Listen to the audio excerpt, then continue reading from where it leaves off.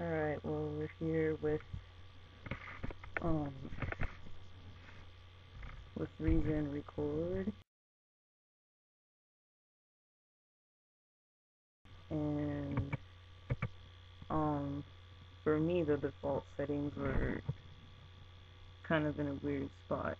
So um to create an audio track first of all the sound driver um was needed to be set um, so I went to edit preferences and it was on primary sound driver. I had to change it to ASIO for all and in that everything isn't always set up correctly. So I have to go here and, and once those are all enabled um, it would show that there's that there's audio in and audio out. but there seems to be neither at the moment, so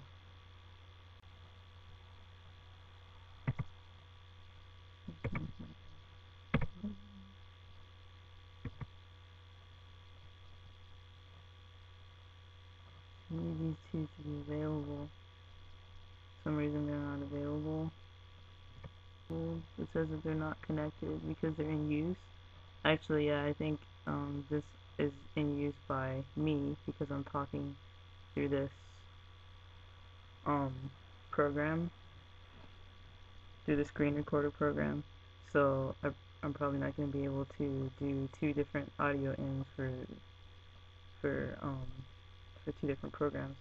So basically that's where I would go to fix that. And if you wanted to create audio, you just go to create audio track and it gives you this nice nice here. And click there and I want stereo and it doesn't have audio and so we're not going to be able to hear anything. Um, but um, the other problem I was having after this one was that even once I had this set up um, with the audio in and audio out, um, I pressed tab and when you look back here, in the back of the rack it shows that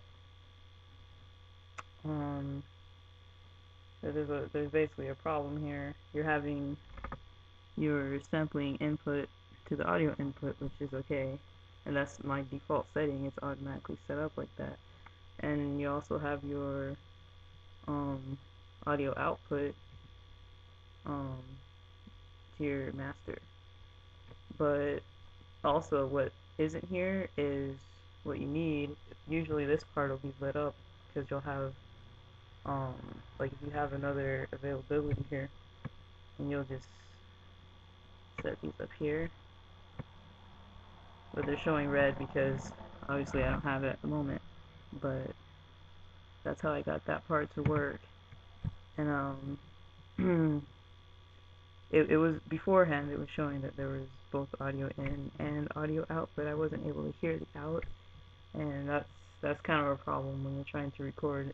You want to hear the out at the same time as the in, um, as you're putting in, so that you're not playing at a different tempo and just playing like whatever you'd be playing if you can't hear what you're playing over.